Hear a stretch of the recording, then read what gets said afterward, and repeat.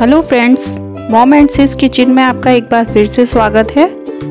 Friends, आज हम Shivratri special एक पाग लेकर आए हैं, जिसका नाम है सिंघाड़े के आटे का और गोंद का पाग। आइए इसको शुरू करते हैं। इसके लिए हमने ये कुछ मेवा ली है और इसके साथ ही हम ये सिंघाड़े का आटा लेंगे। ये लगभग 150 ग्राम सिंघाड़े का आटा है। और ये कुछ मेवा है।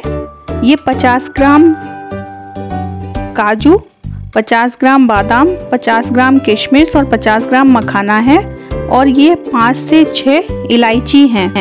कूट कर यूज़ करेंगे।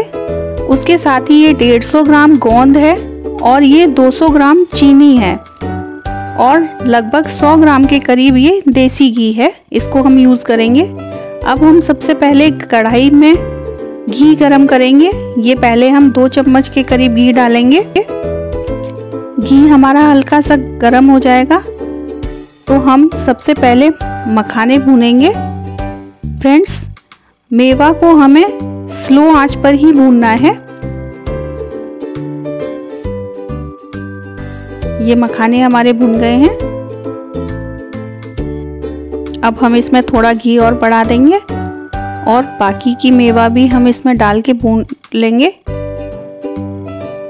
ये हमने काजू, बादाम,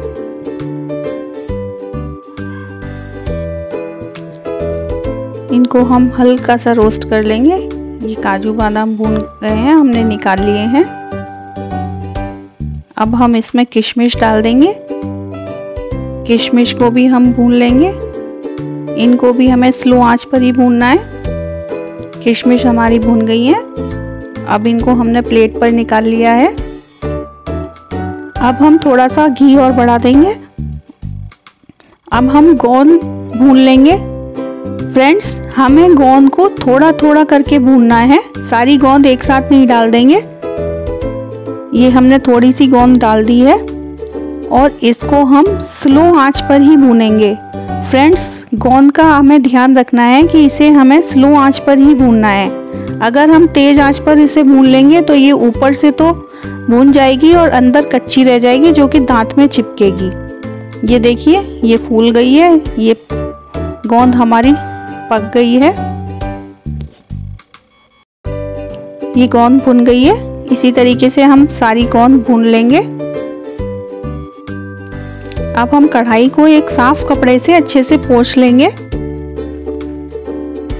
इसमें हम और थोड़ा सा देसी घी डाल देंगे। अब हम सिंघाड़े के आटे को भूनेंगे। ये सिंघाड़े का आटा हमने डाल दिया है। इसको हमें स्लो आँच पर भूनना है। जब तक ये हल्का गोल्डन ब्राउन ना हो जाए, तब तक हमें इसको इसी तरीके से भूनना है।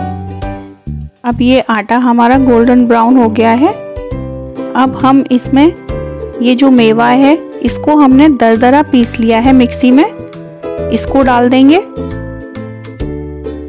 और आटे के साथ हमें इस मेवा को थोड़ा सा भून लेना है।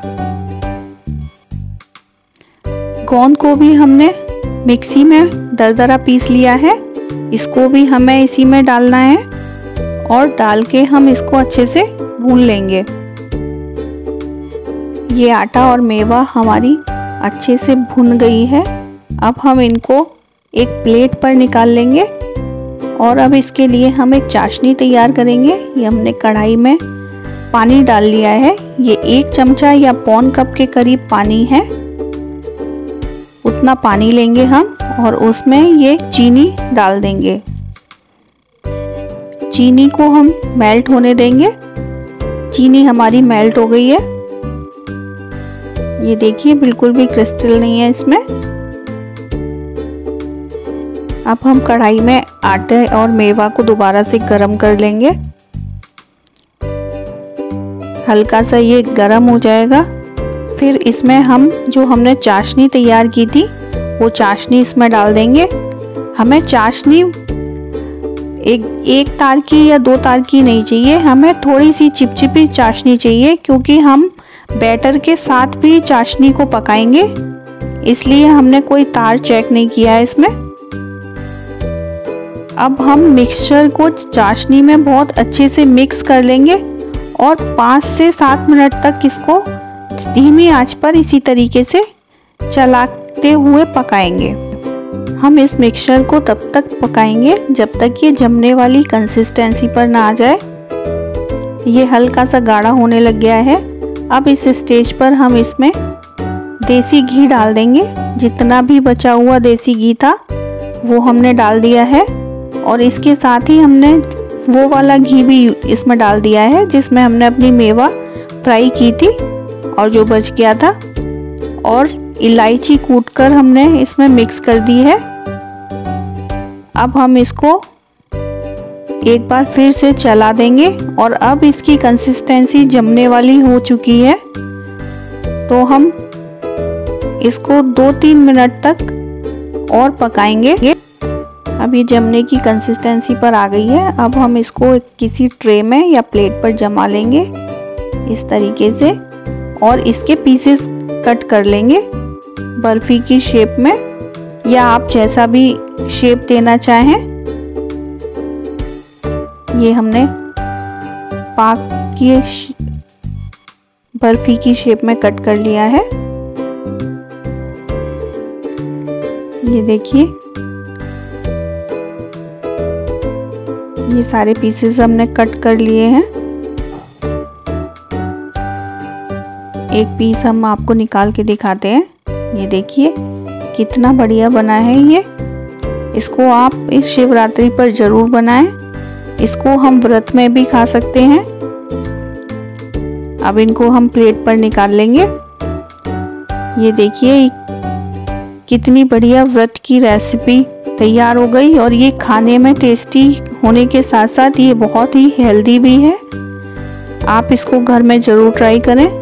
फ्रेंड्स, अगर आज की रेसिपी आपको पसंद आई हो, फ्रेंड्स, अगर आपको आज की ये मेरी रेसिपी पसंद आई हो तो प्लीज़ मेरे वीडियो को लाइक करें, शेयर करें और मेरे चैनल को सब्सक्राइब करें। Thank you for watching